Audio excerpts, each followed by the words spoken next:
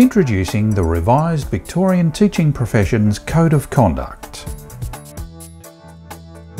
It's over 10 years since VIT, in consultation with the teaching profession and key stakeholders, developed the Victorian Teaching Professions Code of Conduct. Much has changed in the education landscape since then, including welcoming early childhood teachers into the profession, the growth of social media and online communication platforms. Changes in the public's expectations of teacher conduct. Legislation requiring VIT, when performing any regulatory function, to consider the well-being and safety of children and young people, including by taking into account community expectations, and more. These changes prompted a review of the code to ensure it provides a more contemporary reflection on the expectations on a teacher's conduct and professional competence. After an extensive consultation process, the code has now been revised.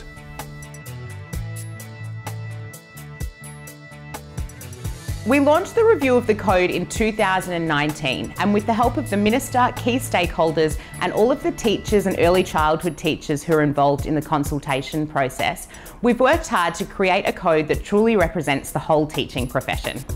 So, what has changed? It includes a greater focus on child safety and well-being. More emphasis on understanding individual needs and backgrounds of learners. More guidance about teacher conduct online, including via social media.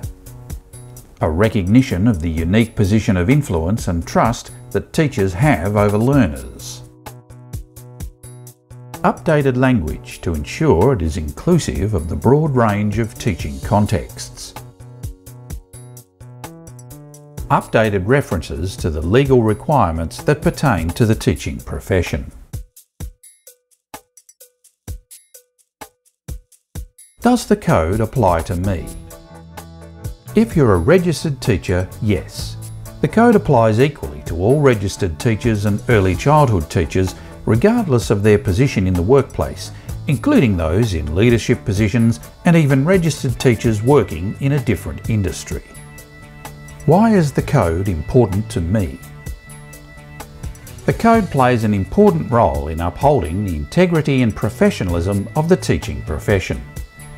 It will guide you and help you understand the expectations of the teaching profession and the community in relation to your professional conduct, personal conduct and professional competence.